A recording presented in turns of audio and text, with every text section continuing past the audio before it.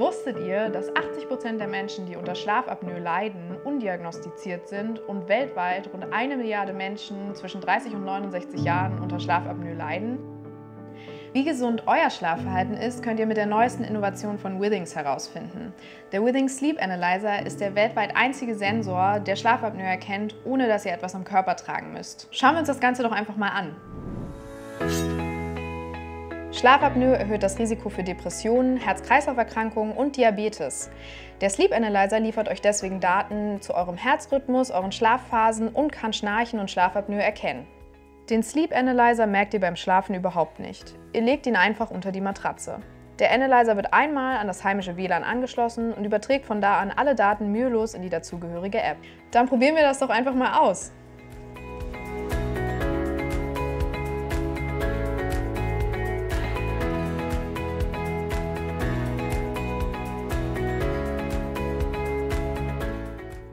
Am Morgen könnt ihr in der kostenfreien HealthMate-App überprüfen, wie erholsam euer Schlaf war.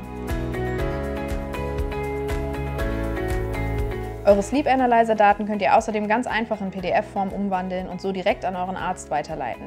Zum Beispiel, um eine Diagnose zu erleichtern. Mein Fazit, mit dem Withing Sleep Analyzer könnt ihr ohne Aufwand euren Schlaf optimieren und eure Gesundheit im Blick behalten. Einfaches Setup, nicht sichtbar in der Anwendung und Messwerte auf Schlaflaborniveau.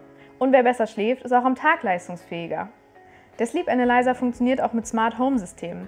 Bei mir schmeißt er zum Beispiel beim Aufwachen schon mal die Kaffeemaschine an. Der neue Withing Sleep Analyzer ist ab dem 28.04. erhältlich.